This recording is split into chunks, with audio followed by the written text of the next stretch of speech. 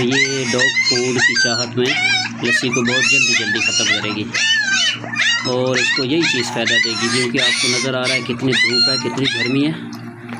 تو ڈاگس کو یہ چیز کافی ضروری ہے ان کے لیے۔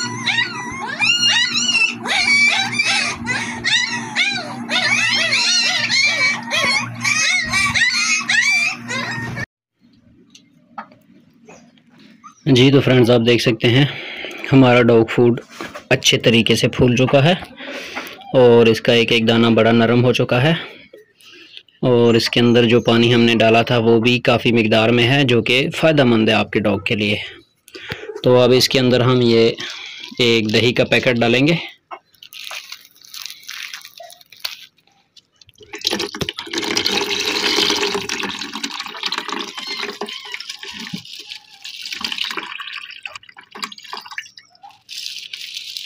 یہ جی مکمل اس کے اندر ایک دہی کا پیکٹ چلا گیا۔ آپ بھی اپنے ڈاگ کو ایک مناسب مقدار میں دہی دے سکتے ہیں۔ تو یہ دیکھیں، دانے اس میں پھر بھی گھوم رہے ہیں۔ تو ان دانوں کو ہم نے اچھی طرح سے اپنے ہاتھ سے ایسے میش کر دینا ہے۔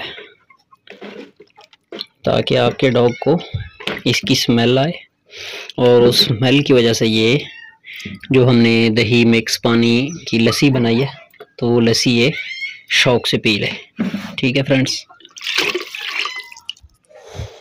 تو ابھی میں آپ کو دکھاتا ہوں، اس کو ڈال کے اپنے ڈاگ کو۔ دیکھیں کیسے کھاتا ہے وہ۔ جی تو فرینڈس فائنلی ہماری یہ لسی تیار ہے۔ ٹھیک ہے جی۔ تو اب یہ دیکھیں ہماری ٹیفنو۔ ٹیفنو آ جا۔ کیونکہ میں پہلے اس کو سمپل لسی دیتا تھا دہی کی بنا کے، تو وہ اتنے شوق سے نہیں کھاتی تھی۔ لیکن جب سے یہ طریقہ آزمودہ کیا کہ ڈو فوڈ اس کے اندر ڈال کے اس کے سامنے جیسے ہی رکھتے ہیں۔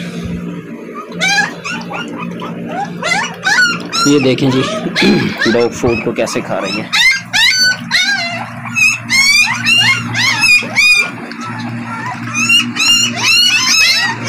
ٹھیک ہے فرینڈس تو یہ ڈاگ فوڈ کی چاہت میں لسی کو بہت جلدی جلدی ختم کرے گی۔ اور اس کو یہی چیز فائدہ دے گی کیونکہ آپ کو نظر آ رہا ہے کتنی دھوپ ہے، کتنی گرمی ہے۔ تو ڈاگس کو یہ چیز کافی ضروری ہے ان کے لیے۔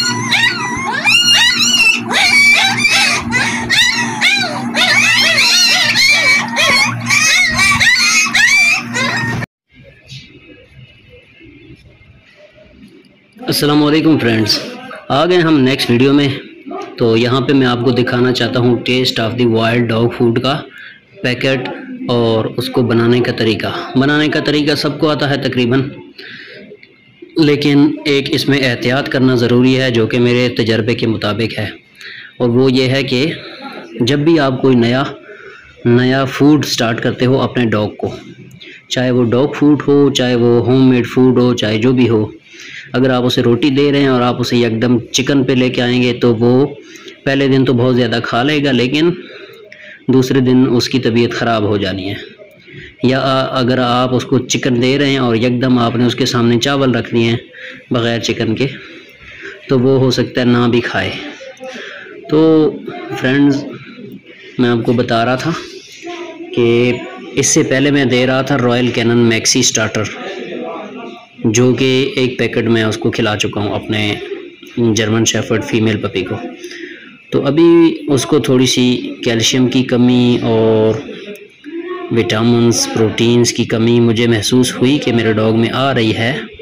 تو اس وجہ سے میں نے سرچ کیا اور سرچ پہ مجھے یہ پتہ چلا ہے کہ taste of the world dog food جس بھی ڈاگ کو دیا جاتا ہے تو اس میں ماشاءاللہ سے زبردست ایک بدلاؤ آ جاتا ہے۔ اور یہ بدلاؤ میں آپ کو دکھاؤں گا۔ جیسے جیسے میں اس کو ایک ہفتے تک دوں گا، ہفتے کے بعد آپ کو انشاءاللہ اپنا ڈاگ ابھی بھی دکھاؤں گا اور ہفتے بعد بھی آپ کو دکھاؤں گا کہ اس میں کتنا فرق آیا ہے۔ تو چونکہ گرمی کا موسم ہے اور گرمی کے موسم میں آپ نے کیا کرنا ہے کہ تھوڑی تھوڑی مقدار میں آپ نے دینی ہے، جو بھی چیز دینی ہے۔ ویسے بھی کوئی ڈاگز کچھ کھا نہیں رہے گرمی کی وجہ سے۔ جو روٹین کا کھانا ہے وہ نہیں کھا رہے۔ تو اس کے لیے سب سے بیسٹ ہے کہ آپ اس کو دہی دیں دوپہر کے ٹائم ٹھیک ہے جی؟ دہی میں آپ پانی مکس کریں، اس کو لسی کی طرح بنائیں۔ ایک تو یہ اس کی بھوک کی کمی کو پورا کرے گی۔ دوسرا یہ ہے کہ یہ ٹھنڈی ہوتی ہے۔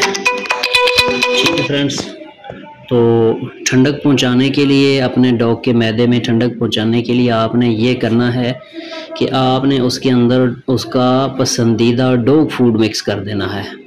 اور میرے ڈاگس کو پسند تھا ابھی تک رائل کینن لیکن آج پہلی دفعہ ان کو میں taste of the wild use کروانے کی کوشش کروں گا۔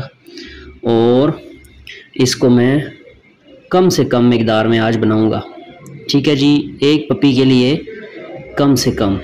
یعنی یوں سمجھ لیں کہ آپ نے پانچ دانے ڈال دیے۔ تو اگر وہ پانچ دانے وہ کھا لیتا ہے، ڈائجسٹ کر دیتا ہے، اس کا پیٹ خراب نہیں ہوتا یا اس کو کوئی مسئلہ نہیں ہوتا باقی، تو آہستہ آہستہ ہم نے دانے بڑھانے ہیں۔ مطلب پہلے دو تین دن تک پانچ ہی دانے دینے ہیں، پھر چوتھے دن سے ہم نے اس کے دانے بڑھا دینے ہیں۔ کیونکہ اس میں دانے ہوتے ہیں چھوٹے چھوٹے، بسکٹ ٹائپ۔ تو وہ آپ نے روزانہ کی مقدار میں بڑھانے ہیں مطلب ہر چار دن بعد۔ پانچ دانے دے دیے، پھر چار دن بعد اس کو دس کر دیا، دس دانے دے دیے۔ تو آہستہ آہستہ ڈاگ اس کے ساتھ نا ایڈجسٹ کر جاتا ہے اور وہ اسے ڈائجسٹ کر، کرتا رہتا ہے۔ آپ نے یکدم سے اس کو دے دیے تیس، چالیس دانے۔ پہلے دن تو وہ کھا لے گا، بڑے شوق سے کھا لے گا۔ لیکن آپ دیکھیں گے کہ آپ کے ڈاگ کو یا تو موشن لگ جائیں گے یا وہ بالکل ہی کھانا پینا چھوڑ دے گا، اس کا میدہ بند ہو جائے گا۔ تو فرینڈ میں بتا رہا تھا آپ کو ابھی پیکٹ کھول کے اس میں ڈالتے ہیں۔ طریقہ کار بھی آپ دیکھ لیں۔ سمپل سی بات ہے، جیسے ہر ڈاگ فوڈ استعمال ہوتا ہے، اسی طرح آپ بھی استعمال کریں۔ میں آپ کو دکھاتا ہوں۔ جی تو فرینڈز، ہم نے اس کو ان باکس کر لیا ہے ابھی۔ تو سب سے پہلے اس میں سے آپ نے اٹھانے ہیں۔ اس طرح کر کے۔ یہ آپ اندازہ لگا لیں کہ اگر بیس دانے ہیں، میرے پاس ہیں، تین ڈاگز ہیں۔ دو رشین اور ایک جرمن شیفرڈ۔ تو ان کے لیے یہ اتنی خوراک کافی ہے۔ ٹھیک ہے جی۔ تو یہ ہم نے ڈالنے ہیں اس خالی بوٹل میں۔ اس میں ڈال کے اس کے اوپر آپ نے پانی ڈال دینا ہے۔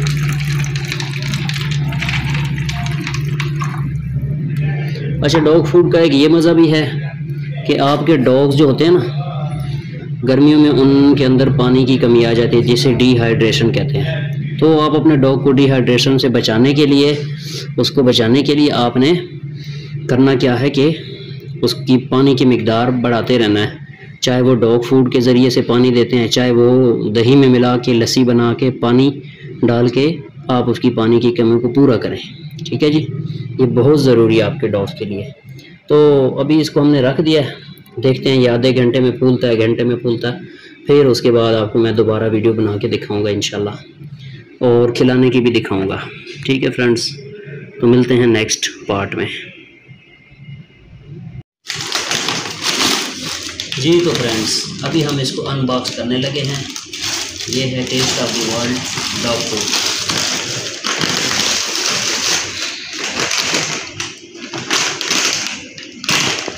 آپ اس کی پیکنگ دیکھ سکتے ہیں۔ دو کے جی کا یہ پیکٹ ہے۔ ٹو کے جی ٹھیک ہے۔ اور اس کے اندر کافی تعداد میں پروٹین منرل وٹامن سب کچھ۔ یہ جتنا بھی لکھا ہوا ہے، یہ سارا کچھ اس میں اویلیبل ہے، ٹھیک ہے جی۔ یہ آپ دیکھ سکتے ہیں۔ یہ ہم نے دراز سے آرڈر کیا تھا، جو کہ ہمیں ملا ہے خیبر۔ پیٹس والوں کی طرف سے۔ تو جو چیز دکھائی تھی انہوں نے ماشاءاللہ سے وہی بھیجی ہے، زبردست چیز آئی ہے۔ ٹھیک ہے جی یہ پپی فارمولہ ہے۔ Taste of the world dog مزید اس کی انفارمیشن میں آپ کو دیتا ہوں نیکسٹ ویڈیو میں۔ بہت شکریہ۔